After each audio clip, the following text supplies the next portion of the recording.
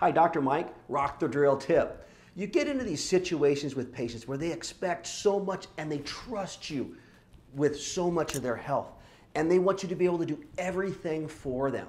Well, one of the things you have to start talking about is, is what are the abilities that you have with your training, with your techniques, your technology to be able to treat this patient in the best, healthiest way possible.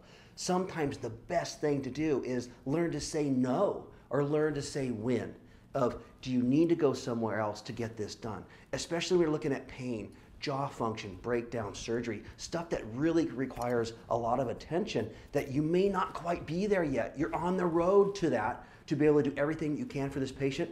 But we get in this whole thing of yes to the patient that we want to satisfy and we want to make them healthy and we want to be able to do everything we can but sometimes that's not the best mode towards treatment. So one of the things we got to look at is know when to say no and know your expectations and what your goals are going to be for this patient to match their goals.